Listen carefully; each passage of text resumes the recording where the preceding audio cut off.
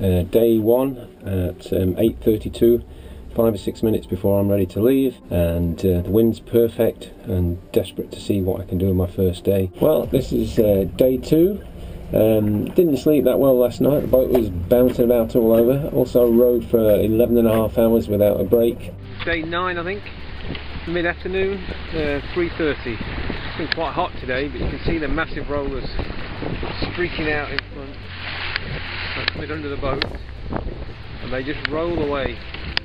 The boat's um, twisted in the wind a little bit. so this is day 20 I'm going to show you what we're uh, contending with today. We've got 25 knot winds, big swell, and the swell's coming in two or three different directions as well, so it's a bit confusing.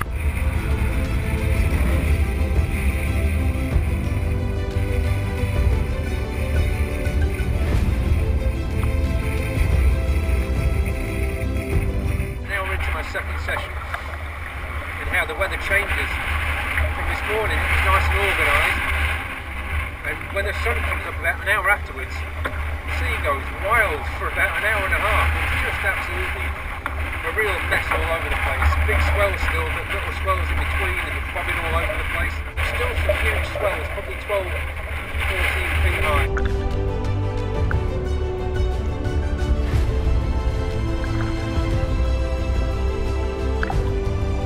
Day 25 and uh, I've stopped for my afternoon break. I'm going to test out the underwater capabilities of this camera.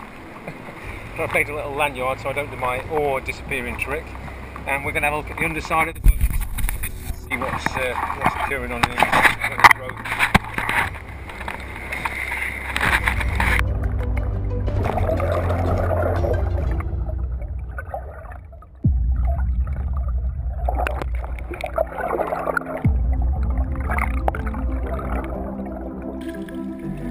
There we go.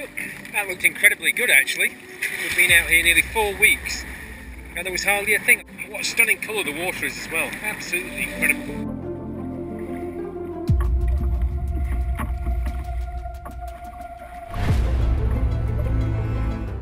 Okay, that my friends, halfway across my journey across the Atlantic. This is what halfway looks like outside. Pretty calm again today, which is frustrating. There is a little bit of a wind starting to pick up this afternoon. It's supposed to be 15 knots. It's about lunchtime on, um, on Christmas Eve, and it is time to go in the water. I've got my scraper, I've got the scraper bottom of the boat. Secondary shark repellent just in case. Here we go. So, tear open the foil bag, tie it in a bag to person, squeeze in water, use dense black cloud, remaining centre of cloud. Okay, so I'm going over, and uh, if you don't see me again and you find this video, you know what happened. I've done it. Was scary as heck, and I won't be doing it again. The bottom of the boat's clean, covered in uh, anti-foul paint, and uh, needs to get cleaned up.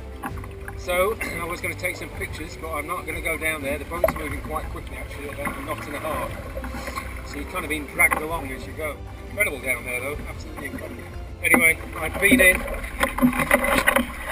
Wet and blue just to prove it.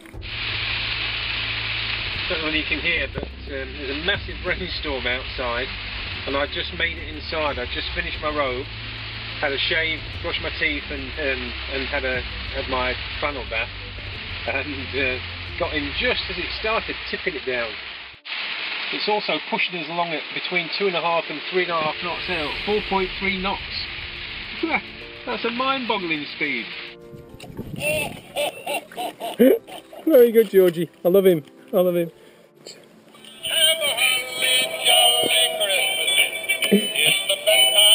Of the year. The holidays are here. It's your duty to shake your booty. Have a blast. Had another massive storm this morning, and that's it going, uh, moving north. So after that massive storm this morning, not a cloud in the sky in anything south of east and west. day 37 and um, the wind that was predicted is here and um, it's pretty good really. You can see over my shoulder that's our uh, port side. The swell's kind of heading southwest which 500 miles ago would have been perfect but it's gone a bit too far south. We're cutting across the top of the swell taking some of the energy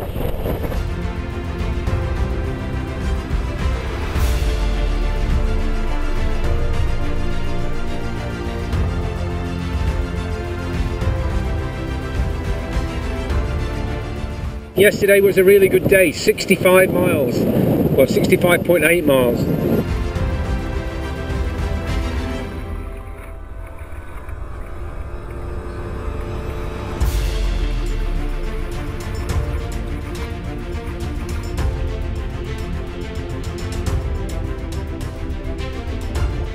Just wanted to show you the uh, conditions at the moment. Big storm messing up the water it takes about 180 degrees up the horizon. The sun's just gone behind a big cloud. This massive black cloud. And um, it's really mucking up the water.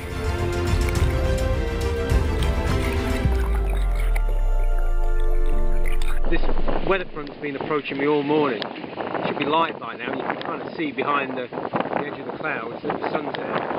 Anyway, I'm right under the top edge of this, this weather system. You can see it right above me. And there's the rain that's on its way. I think I'm going to get soaked. It's about 15 minutes after you, uh, after I did my last little piece about the, the weather front, and um, it's just about to start bucketing it down. So i have come in. It's the first time I've come out of the rain in the entire trip. But it's pointless getting freezing cold and getting all my kit wet. So um, I've got a few chores to do. You can hear the rain. I'm just going to have to close the door, which will make it a bit dark.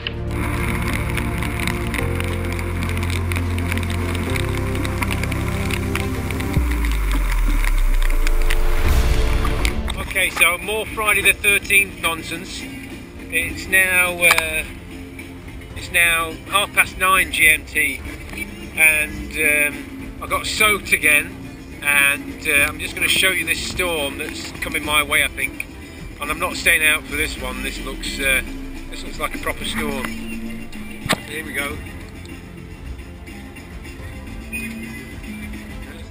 We're in the middle of this massive um, storm system. It's been like this for about three hours now. I showed you a bit earlier the front of it coming over us, and uh, it's been drizzling and no wind, and then loads of wind, and then wind in the wrong direction buckets and buckets of rain, absolutely soaked. And, uh, quite pretty though when it when it rains hard. Day 52 and possibly my last full day at sea, hopefully. I'm 60 miles away from Barbados, so it should be, unless something goes wrong. And I thought I'd try and capture the sunrise this morning, as it's probably the second to last one we'll get, and there was no sun yesterday.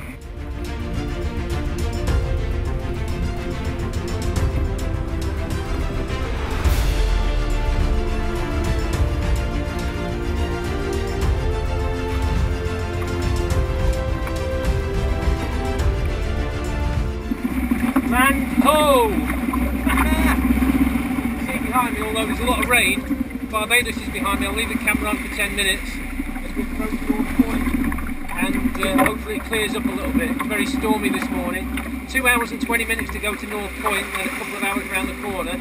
Cheryl and the girls and Tony coming out to meet me. Can't wait. Gotta love it. I've nearly rowed across an ocean.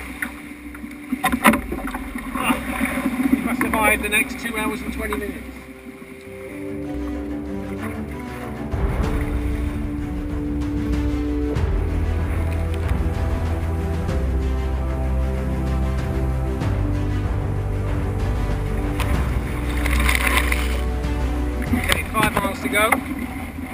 building before that obviously not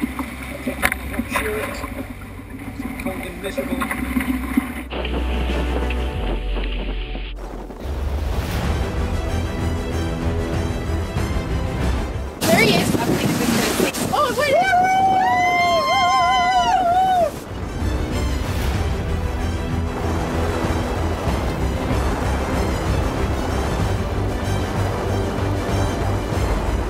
he's right on course.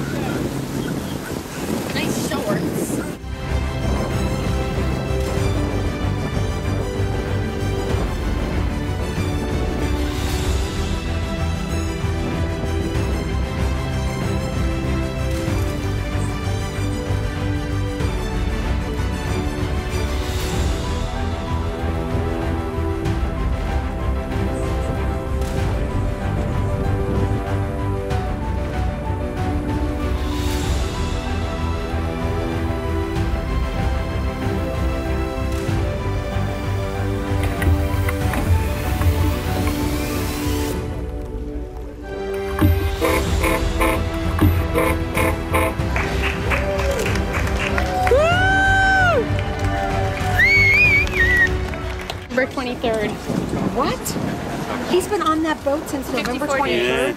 Yeah, yeah. Don't hug him until he's had a shower.